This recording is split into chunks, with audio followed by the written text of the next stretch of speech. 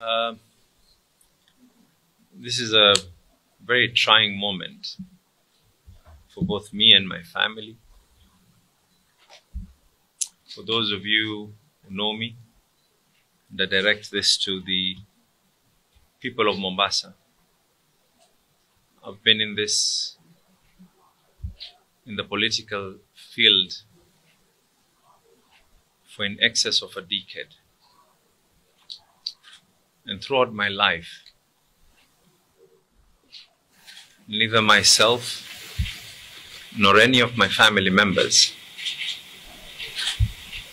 have ever crossed the line of meting any form of violence on anyone. My stand has always been there, and this is known to yourselves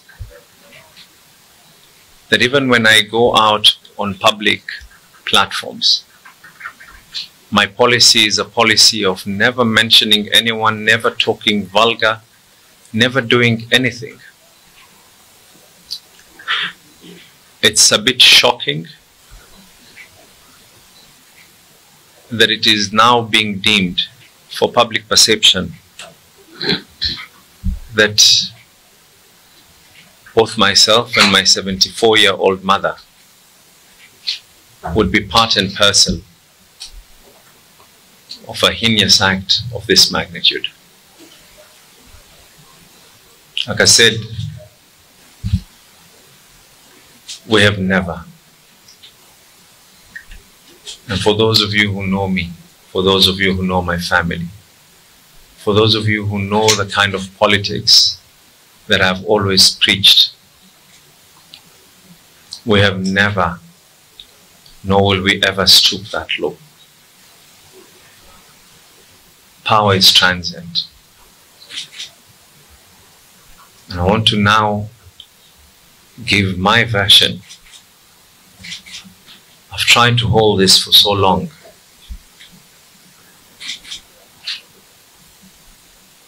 Probably about couple of weeks before the unfortunate incident that is said to have been done on this young man.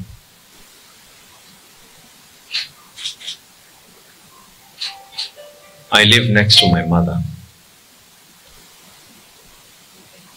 My mother's house was invaded, not once but twice. And every one of those incidences, we reported it. In the invention of my mother's house, nothing else was taken except a laptop and a mobile phone. CCTV footage were provided to the authorities. My family car was approached by armed people. A report that was made. When this unfortunate incident happened, and when there was a video that had started circulating that talked of words that I cannot even be able to state on my mother, on the mother of my children, the first thing that I did was speak to my family. And we, in unity, agreed we will do whatever we have always been doing. Leave this to the Almighty. It is unfortunate that a sad scenario like this is now being used political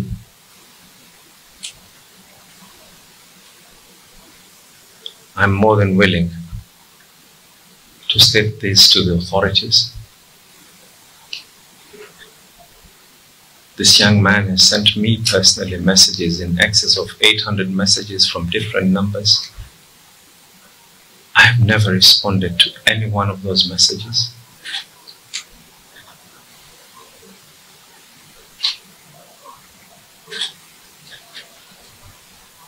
The doctor in charge at Coast General Hospital received a call from a senior politician threatening him.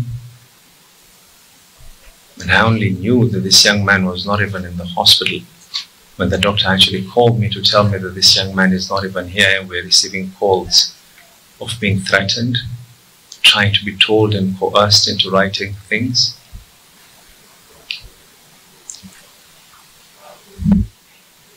Others are stating that I wish not to be able to go to the DCI. If there's anyone who wants to clear the name in this matter, it is none other than myself.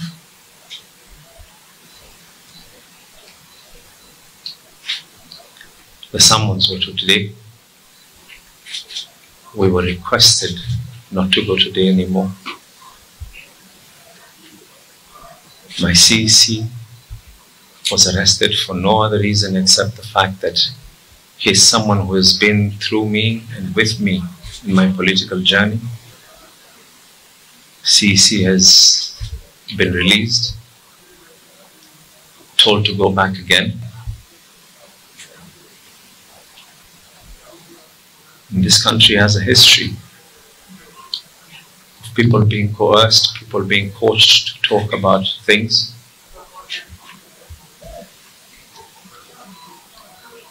The president himself had witnesses being coached when he was at The Hague. I want to reiterate again. As much as I feel sorry for whatever happened to this young man, the spirit of my family,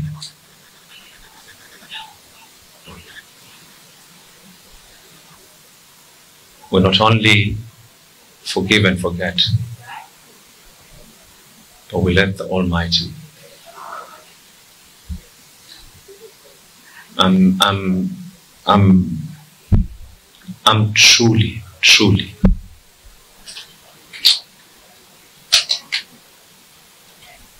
I hurt not for any other reason. But my mother being dragged, being abused, and then now being accused together with her son just because she gave birth to me.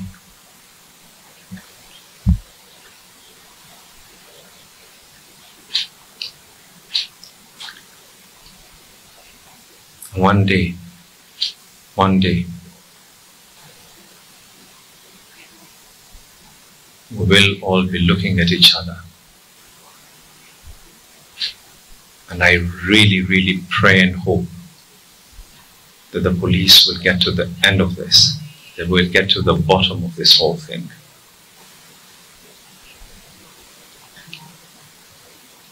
And for those probably don't know me, probably don't know what my values are, I have passed through worse I have been abused. People have tried to physically harm me, my family, but we ever maintained our cool. It isn't who we are.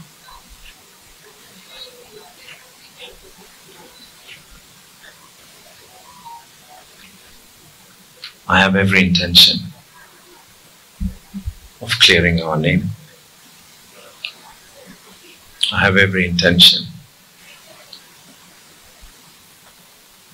of ensuring that those who are behind this form of malignment will equally be brought to book.